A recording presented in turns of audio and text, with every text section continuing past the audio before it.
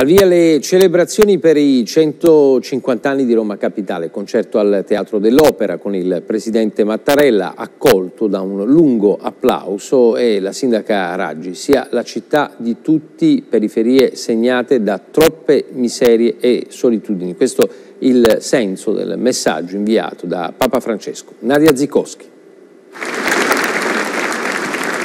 Cominciano da qui, dal Teatro dell'Opera, dal lungo applauso che accoglie il Presidente Mattarella ai 12 mesi che Roma dedicherà alle celebrazioni per i 150 anni di Roma Capitale. 3 febbraio 1871, a pochi mesi dalla breccia di Porta Pia, la capitale del Regno d'Italia trasloca da Firenze a Roma, determinando di fatto la fine dello Stato Pontificio.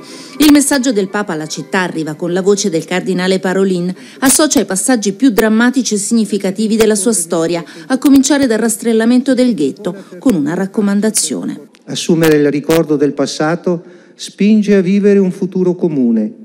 Roma avrà un futuro se condivideremo la visione di città fraterna, inclusiva, aperta al mondo. Tra passato e futuro c'è la Roma del presente, così come la vede la sindaca Virginia Raggi. Roma è una città accogliente. Roma è una città internazionale. Roma è una città aperta a tutti e lo sarà sempre.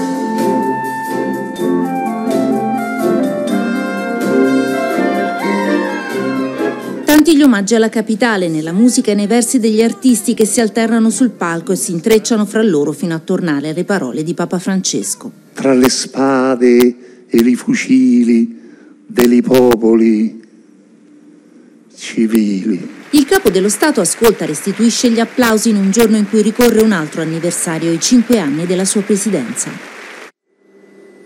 Londra, l'ISIS rivendica l'accoltellamento di due